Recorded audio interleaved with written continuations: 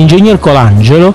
eh, amministratore della gara di Metto, un'azienda di service provider Alenia per tanti anni che oggi si presenta al mercato con dei prodotti estremamente innovativi a Monaco all'AirTech. Le prime considerazioni e gli obiettivi che vi siete posti passando dal service alla produzione. Molto semplicemente noi eh, quando un paio d'anni fa abbiamo deciso di ehm, intraprendere questo nuovo percorso ci siamo chiesti quale fosse la strada migliore per poter eh, entrare nel mondo della produzione aeronautica facendo tesoro di tutta la grande quantità di esperienze che abbiamo acquisito negli ultimi anni lavorando all'interno del settore aeronautico, principalmente nel mondo finmeccanico ma anche eh, con molti altri clienti. Abbiamo ritenuto di non dover percorrere la strada che spesso si percorre semplicemente acquisendo delle facility produttive, ci siamo rivolti come è nella nostra natura ad un percorso di innovazione tecnologica e abbiamo affrontato il mondo della produzione additiva ritenendo che esso sia uno delle maggiori sfide per il futuro e probabilmente sarà una delle tecnologie vincenti a partire dai prossimi anni. Eh, siamo un'azienda molto innovativa perché semplicemente riuniamo una competenza ingegneristica con una competenza produttiva che passa attraverso le tecnologie tradizionali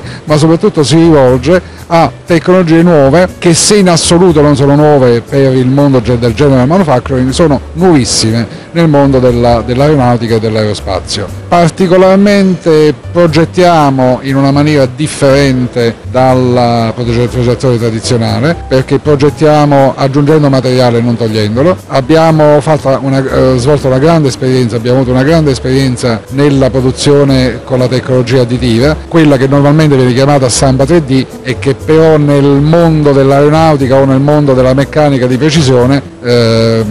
riveste di un'importanza molto più, eh, molto più strategica perché eh, riesce a produrre parti aeronautiche come noi già oggi produciamo o parti di attrezzatura come ancora noi oggi già produciamo in un tempo molto molto più basso con eh, dei costi sicuramente molto più bassi a patto che la progettazione sia svolta in una maniera corretta dimenticando quelli che erano i canoni classici della progettazione strutturale di una volta. Il eh, Salone Airtech di Monaco di Baviera per noi sicuramente è stato un successo. Uh, a prescindere dal fatto che è organizzato molto bene e che è la seconda esperienza che noi facciamo in questo tipo di manifestazione e anche l'altra volta l'anno scorso a Francoforte ci siamo veramente trovati molto bene. Eh, per quello che riguarda noi è stato un successo perché tanta gente si è fermata, tanta curiosità abbiamo riscontrato e soprattutto molti contatti operativi che ci fanno ben sperare eh, per il futuro